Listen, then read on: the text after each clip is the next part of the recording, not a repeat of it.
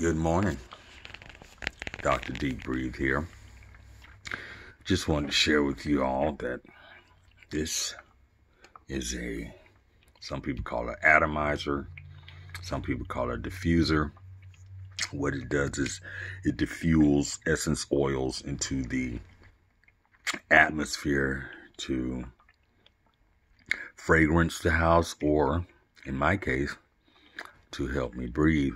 So every morning I use a little spearmint and eucalyptus. Where is it? Yeah, there it is, eucalyptus. Eucalyptus is said to be good for opening up the nasal passages. So I do that to uh, jumpstart my olfactory system in the morning so I can get that good deep breathing in. So, you know my routine. Just gonna do 10 deep breaths. Hopefully, you'll do them with me. If not, it's okay. Because again, I'm not making anyone do anything. I'm not even suggesting. I'm just sharing. So, early morning, 10 deep breaths. Here we go.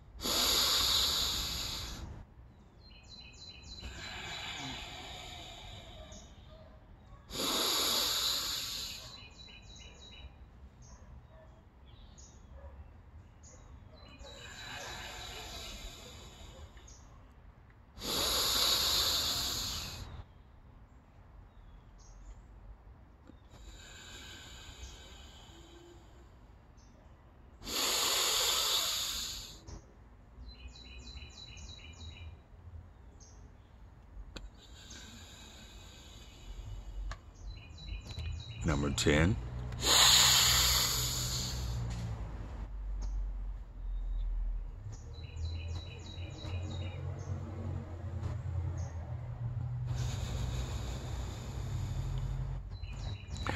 Oh, wow. That was fabulous.